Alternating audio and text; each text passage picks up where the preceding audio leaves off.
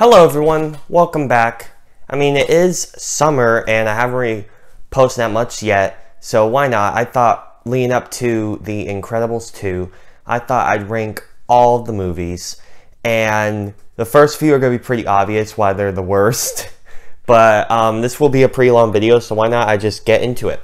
So basically, I own all the movies except four of them, so basically those four will be at the bottom, because I obviously didn't care enough to own them.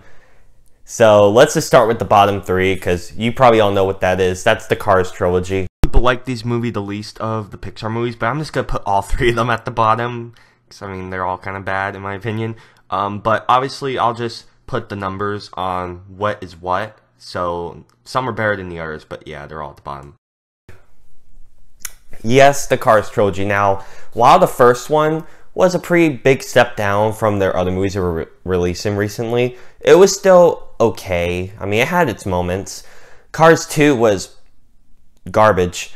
Um, there are some parts I liked in it, though, like the ending, kinda. I thought that was kind of interesting and, you know, entertaining at least, but the rest of it was just trash. It made no sense for them to do that spy garbage.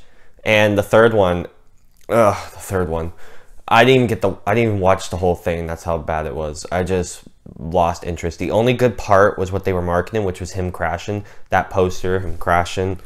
I'm kind of obsessed about posters, so of course I would mention that. But yeah, that that whole series was just garbage. So that's the bottom three. I'll just say that. If you guys care enough, I'll put Cars 3 I think is the worst because I didn't even finish the whole movie. It was so bad. Cars 2 is also pretty bad, so that's a low tier above. And then the first Cars. Okay, now that that trash is out of the way, there's still one more movie I don't have on DVD, and it's not that it's awful. It's just was you know forgettable for me, and that was A Bug's Life. I know that's one of their earlier films, and it's a classic and all that, but besides um, Kevin Spacey as um, the bad guy, which I mean, he's basically poisoned now to be in any films, but I mean, he was he's still a good actor. What from what he's done and all, that's debatable and how awful that was. But he's still a good actor, so he was a good presence in the film. and um, the animation for its time was really decent, but I don't really remember that much about it. I mean, I know I watched it growing up and all. I mean, I watched it recently as well, but I just wasn't nothing special about it. Okay, now that those are out of the way, let's get to the ones I do have on DVD. Half of these, I don't even know how I got on DVD. I don't even remember getting them. They may have been presents, who knows. Okay. So we'll start with this one right here. Yeah, um, this one's also near the bottom for me. I mean, it, it felt really unnecessary. This is when they began their trend, even though they were promoting, we make original films, and there was even that whole thing about how people at Disney were like, you gotta stop making um, original films and start making sequels to bank. And they're like, no, we don't want to do that and all. I don't know what happened to that mentality because that, that got thrown out the window when they started making crap like this. Now, I know everyone would have wanted a sequel. It made the most sense with um, where it left off. There's so many possibilities and all. But no, they made a prequel for some reason. And it was pretty filler. Like, I did not really care at all and they switched to protagonists basically. I mean, they're both still the main character, but they made the Mike the main character while in the other one there was Sully. I mean, that was okay. It's just I already see him as like a lead in material, but whatever. That's yeah.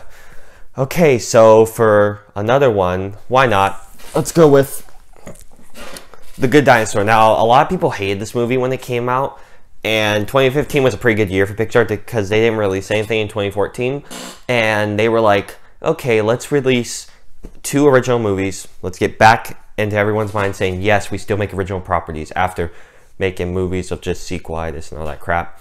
And while it was really entertaining, I thought it was a really enjoyable film. I think it got hated on a bit too much, but in my opinion, it's not really ranked up as high. I mean, I really liked it. I thought it was enjoyable. The animation was just spectacular. My goodness, this was some fantastic animation. Like the woods and all, photorealistic. The water, how they were able to do that was crazy you know, and then they go for the goofy kind of animation with the characters, which I found kind of jarring, but I mean, it was still good. I mean, you saw I got this edition. I thought it looked cool because it does that. But yeah, um, it was a really good movie. Not as high, obviously, but still a treat. Okay, let's get to another one that was okay. It was um, Brave. Now, this was probably the most non-Pixar movie I've seen. Like, it's really different from the other ones. It feels like a Disney movie because it's, you know, a Disney princess, but it's Pixar, surprisingly. That's all you need to know. It didn't have that Pixar charm that we usually know and see from all their films. And, I mean, I thought it was I thought it was good. There was some funny moments. Animation, like basically throughout all these films, even the bad ones, like the Cars ones, throughout all of them, they're gonna have great animation. That's probably the one praise I can give all these films. But yeah, that's basically all I could give here. It did have um, a pretty decent story. So, and some stupid gags I didn't really like. Um, pretty by the books, nothing really stand out. So yeah, that's out of the way. Why don't we get into another one now, shall we? we'll get into one of the classics, and this is probably going to shock a lot of you people watching that are huge Pixar fans. Yeah, um, I didn't really like this film as much as everyone else does. I think their other films, their other originals, are much better than this.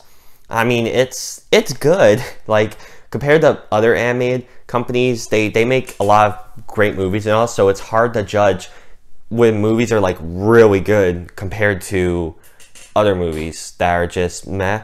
But this is Pixar standards, so we gotta take it, you know, like these are high standards that they've put for themselves, and their good movies are obviously not gonna rank among their great movies. And I mean, it is kind of shocking, I will say, that this loss to Shrek for the first animated Oscar. Yeah, you guys may be like, are you kidding me? You can look it up, it's legit. They really lost. See, there it is. And you can also see how little the Academy cares about animated movies when you see garbage like Shark Shark Tales is nominated. The first car Surf's Up. Like seriously, what the heck? Jimmy Neutron Boy Genius? What the? Okay, so time to get on to another one, shall we?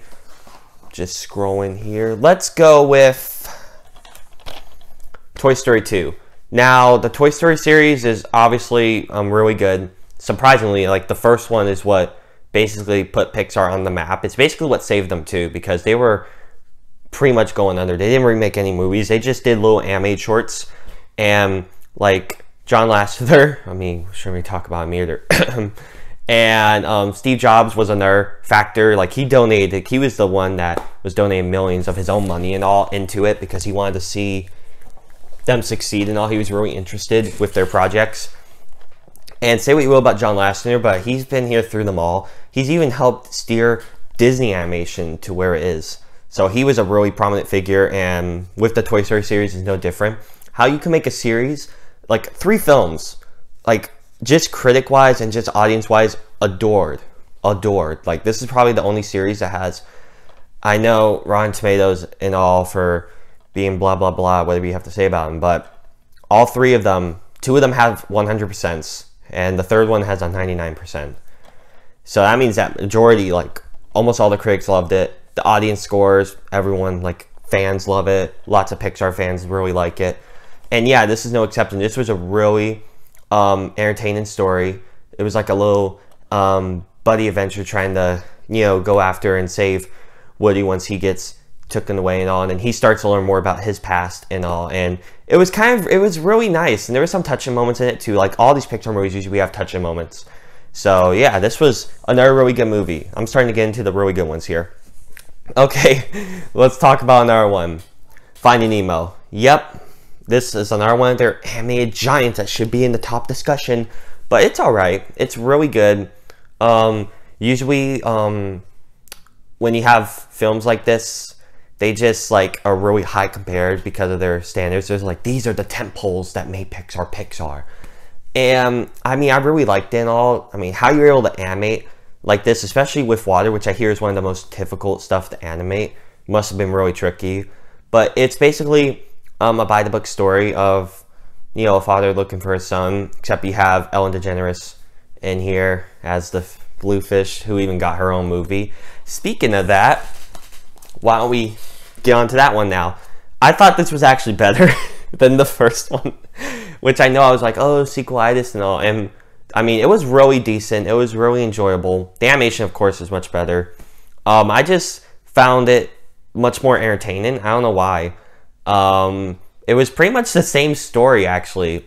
by the titles, they were trying to find Nemo in the first one, and now they're trying to find Dory. Except you're focusing more on Dory instead of with Finding Nemo, you're focusing more on his dad and Dory. But yeah, you learn more about her, questions that you probably didn't even have, but they want to answer them. Made a lot of money. People really liked it. And yeah, they had some, the side characters in this movie I thought were way better than the side characters in that movie. I found it much more entertaining. Okay, now we're starting to get on to the ones that I really, really like. Um, let's go ahead and just the original one now. You may be like, what the hell? Yeah, um, this is, I lost the slipcover, and so it's, yeah, like, it is Toy Story though, it's just, I lost the slipcover. And that Toy Story 2, you can see dog bites, that's because, you know, a decade ago my dog got into it. And it's fine. but yeah, of course, the one that started it all, Toy Story, is still a landmark in film, like at least for animation, but you could see lots of filmmakers and all not just in the animation department, but they've all took a look on what they were able to accomplish, especially back then. And plus, it was a really fun, enjoyable uh, story. And there you go. All right, Ratatouille. I'm pretty sure this is my sister's favorite of the bunch. I'm pretty sure. She'll probably tell you some other time if it is or not.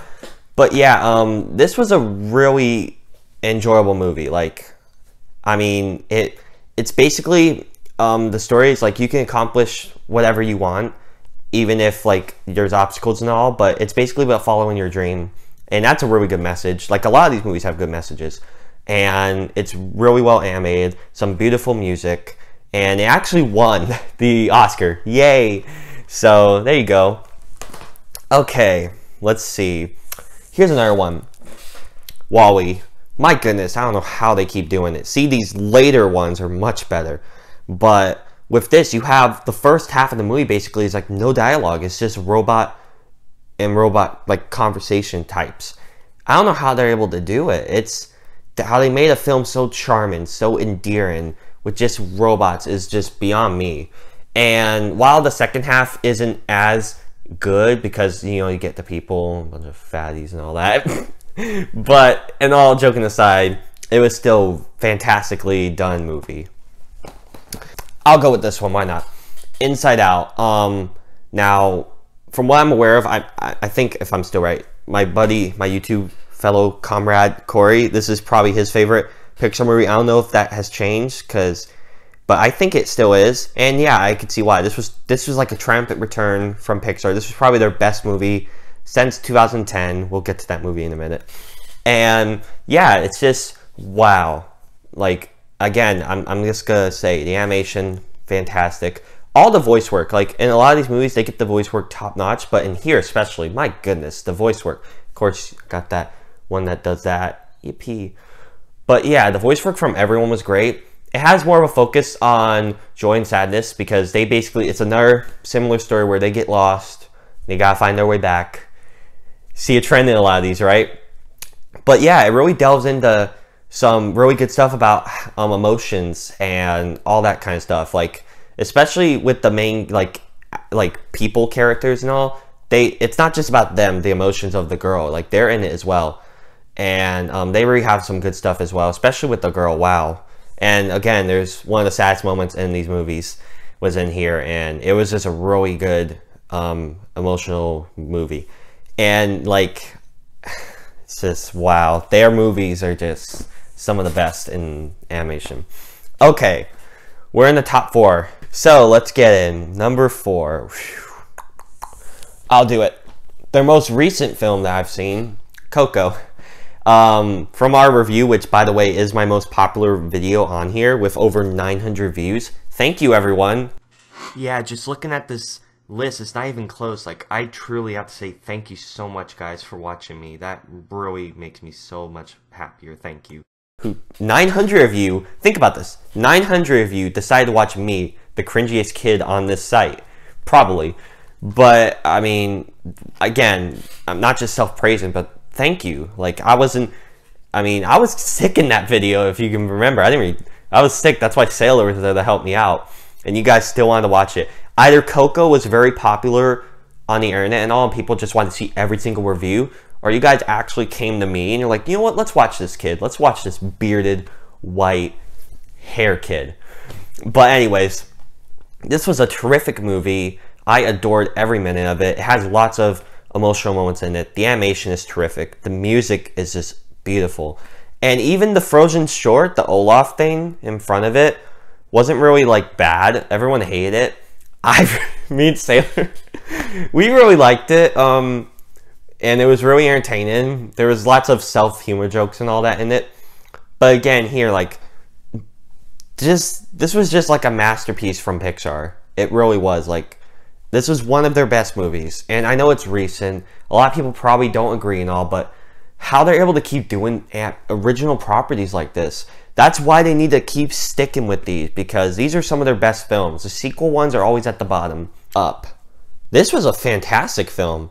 Who would have thought that you would have an old man as your protagonist make a film this great? Now, not only were the first 10 minutes, I believe it's 10, I think first 5 or 10 minutes, not only has that gone down as one of the most saddest awful things to witness, beautiful and awful things to witness, and not just animation, but I think in film in general. People know about that. And besides that, the entire film is really enjoyable, really fun, has a really good story. The villain's really great. Again, the animation, but the voice actors are really good. Like they stick a lot of these voice actors when you think of the movie, they stick in your mind. And this is no exception. And also, it has some really good action se- sequences which is really good for you know a kids movie and an animated movie. But this is Pixar we're talking about, and even the ending it gets really heartfelt near the end. Okay, we're in the top two now. You guys are probably gonna be shocked about. Well, maybe not shocked, but a lot of people don't have it as their favorite. But why not? Let's do this. Number two, Toy Story three. Now, who would have thought they would make a film, let alone three of these, that were all great, and they get better and better. This is probably the best one that they've made. They probably Toy Story 4 is probably not going to be nearly as good as this. But you can tell they have a really good passion with the Toy Story films because their sequels are always the best. They're really good. And with this story, it gave that heartfelt, really sad, and just emotional send off, especially the end. This movie has lots of scenes where people are going to cry in the movie. I mean, I mean, it came out in 2010, so obviously I was really young. Sailors were young. We saw it we cried and teared up and all that. But it, it's just it really hooks you in, and I don't really think that many animated films can do that. And so for them to do it, not even their first go, this this is the third time, and they're able to do it. And you've been invested with these characters all since they began in 1995. So for this, what from what we thought would be the end, it was a great movie, and all the characters, even new ones and all, were really entertaining. So with all those said, why I made the video basically was to prepare for their newest film, The Incredibles 2, which I've been waiting for for like about 15 years, I think. When it came out in 2006? I think so. Maybe 13. Whatever. So, with all that said, their best film, in my opinion, so far is still The Incredibles.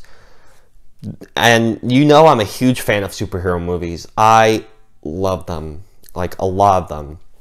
And so for of course the Pixar to do one was just terrific. The the opening, the music, the characters, the villain, the action set pieces, the the whole message, be, being a family, it has it all. And of course it follows the eyes through the main man himself. He's basically going through like a midlife crisis. He wants to live through the glory days. He gets hooked into a mission. His family gets involved. It's just a terrific thrill ride of a movie.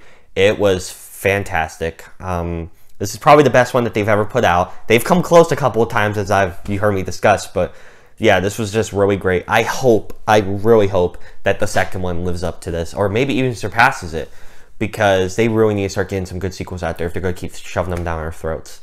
But I'm just glad that they finally made this. It might have been a bit too late because it's been a long time, but we'll just have to see how it does. Not just as a film and all, but also money-wise. So those are my thoughts on the Pixar movies. What do you all think of my thoughts on it? I would love to hear what you guys thought of them. Thank you all for watching, and I'll see you later. Bye!